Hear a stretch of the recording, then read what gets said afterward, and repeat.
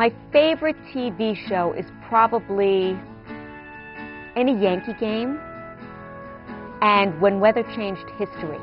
Because I love the History Channel, and Jimmy, my husband, loves the Weather Channel, and When Weather Changed History is the perfect combination, and it's what our marriage is all about.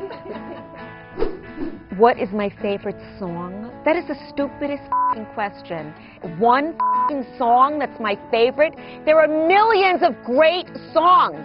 You could say, what's your favorite Beatles song? What's your favorite Irving Berlin song? Even that I could not answer. Don't ask me these stupid questions, okay? What's my favorite movie? Uh, uh, uh, from what year? From what century? From what genre? Oh, I have one movie. How shallow would I be if I had one movie in all of the, the last century that was my favorite?